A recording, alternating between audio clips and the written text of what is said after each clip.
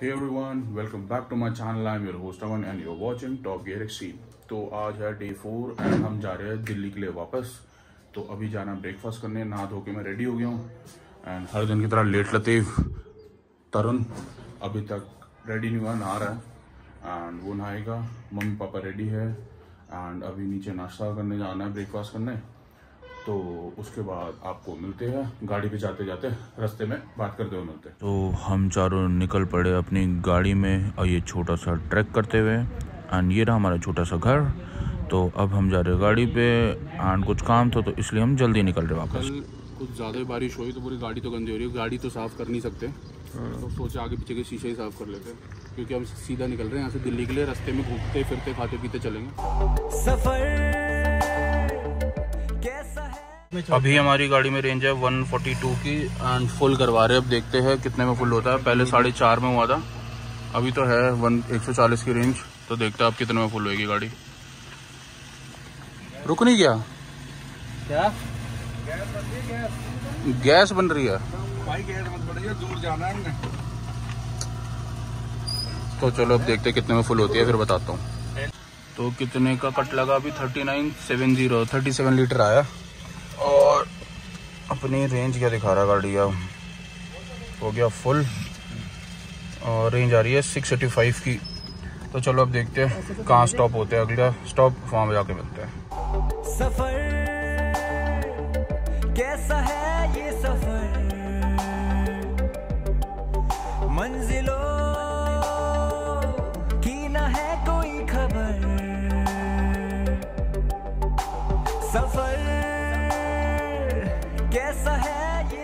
भी इतने डेवलप हो गए यहाँ लग, पता भी नहीं लग रहा कि आप पहाड़ों में गाड़ी चला रहे हो। रोडें इतनी बढ़िया बना दी चौड़ी चौड़ी और एकदम ब्रांड न्यू रोडें बनी हुई है इस साइड की तो। अच्छे से एकदम काली रोड और ना गड्ढे दिल्ली से कम गड्ढे होंगे अभी यहाँ पे। है ना? सही बोलो ना? एकदम बढ़िया। और एक बार थोड़ी लास्ट थोड़ी व्यूज़ और देख लो। पहाड़ के नहीं तो बाद में तो दिल्ली में गर्मी में चढ़ना है। और अभी तो एसी भी नहीं चलाया हुआ हम लोगों ने तब भी एकदम बढ़िया घूम रहे गर्मी नहीं लग रही। कितने बज रहे हैं अभी? अभी ग्यारह सोलह ना ग्यारह सोलह हो रहे तब भी एसी नहीं चला रहा तो ऐसा कोई गर्मी नहीं लग रही। तो चलो अब आगे चलते जहाँ रुकेंगे वहाँ मिलते हैं अब सीधा। सो so, फाइनली हमारा फ़र्स्ट स्टॉप हमने लिया है वापस उतरते हैं सतपुली में। सतपुली में फ़िश एंड राइस काफ़ी फ़ेमस है। देखो फ़िश तो मैं खाता नहीं बस फ़िश के पकोड़े खाता नॉर्मल फ़िश तो वैसे खाता नहीं। तो मम्मा खाएँगी तो उनको खान दो फ़िश विश उनका मंदा खाने का। एंड तो चलते और कुछ हमको मिल रहा था हम खाते हैं अपने लायक। सो ये रहा हमारा चिकन एंड यहाँ पे है मम्मी के फ़िश फ़िश करी इसमें आप देख सकते हैं फुल फ़िश है छोटी छोटी तो food is okay not so good not so bad तो हमने यहाँ से खाया एंड फाइनली आप देख सकते हैं हमारे भूखे तो को। अभी खाना वाना खा के निकल गए हैं। ठीक था खाने में जैसे पहाड़ी खाना होता वैसा था खाने में। एंड थोड़ा आगे निकले अभी। तो आपको व्यू में दिखाता मैं सर एक आपको एक व्यू दिखाया जाए। ध्यान से देखो, कितना बड़ा पहाड़ है। कैमरा जस्टिस नहीं कर पा रहा। ये बहुत ही ज़्यादा बड़ा पहाड़ है। एंड यहाँ के बस स्टैंड है एकदम देसी से।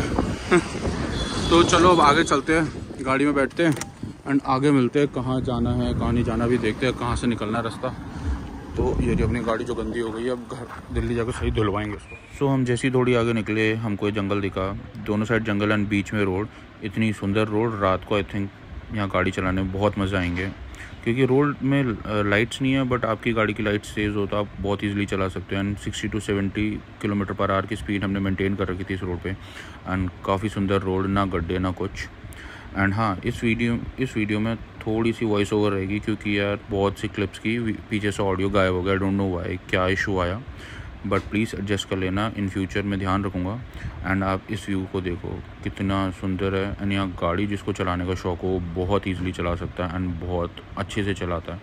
एंड हाँ मेरे पास तो एक कॉम्पैक्ट एस थी। अगर सिडान हो तो और आप सिडान यहाँ और अच्छी चला सकते हो। एंड यहाँ सेल्टॉस ने काफ़ी अच्छा परफॉर्म करा। मेरे को कोई कमी नहीं लगी इस गाड़ी में। अभी तक पेट्रोल में होने के बावजूद भी। एंड एवरेज के मामले एक नंबर। इसने ऐसे पहाड़ों में भी अराउंड अराउंड मेरे को 15 16 के एवरेज दी एंड हाईवे में 21 के करीब।